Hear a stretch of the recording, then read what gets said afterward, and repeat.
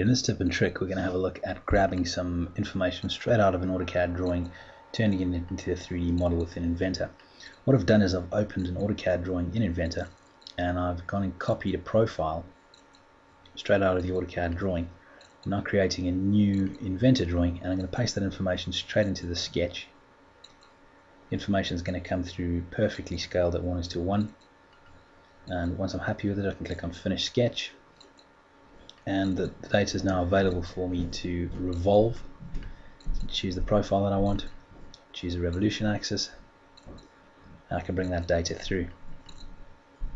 And I have my pressure vessel. If I go back I can go and grab information like the bolt holes.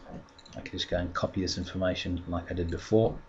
Shoot back into the first part over here create a new sketch on the flange and I can just paste this data anywhere on that sketch plane as soon as that comes through I'm going to turn this into a um, sketch block.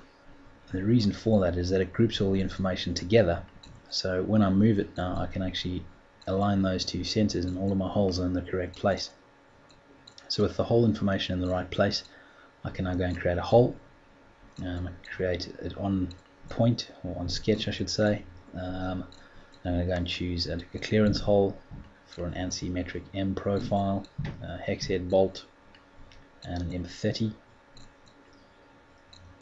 Choose one of the holes that I want to use, choose the center point, and the termination or the distance is going to be to the back end of the flange.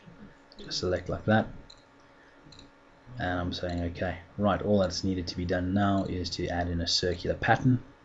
Go and choose the feature I want, the revolution axis, tell that I want 20 holes, and I say okay and very quickly we've taken a whole lot of data from AutoCAD and brought it into the 3D environment within Inventor.